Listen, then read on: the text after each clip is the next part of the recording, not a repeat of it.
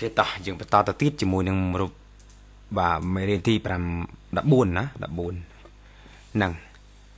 យើងបន្តជាមួយនឹងពាក្យថា smell smelt smelt yes យើងប្រែថាហាត់ឬក៏ធំក្លិនណា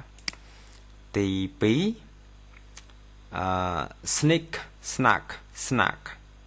លោបចូលណាលោបយើងលោបលោបចូលណាបាទទី3 speed spade spade បង្កើនលបឿនណាបាទទី4ទី4បាទ spell spelt spelt ប្រកបឬក៏ដាក់ស្នែយ៉ាងមក spell ហ្នឹងបាទ spend spent spent នេះ spend spent spent ចាយឬក៏ចំណាយ spend ហ្នឹងចំណាយចាយវាយ៉ាងណាបាទ bend bent bent នេះ bend bent bent bot ឬក៏ពុតអី bend ហ្នឹង អូខេ spin span span ណាវិលជុំ spin បាទ run ran run រត់ឬក៏ចាត់ចែង run ហ្នឹងបាទទី9 stand stood stood បាទឈរណាបានឈរអញ្ចឹងទី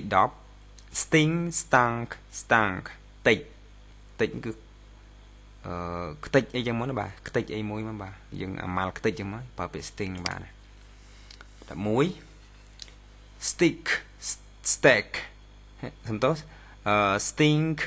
stink stank ធំក្លិនគឺស្អុយធំក្លិនស្អុយមកបាទ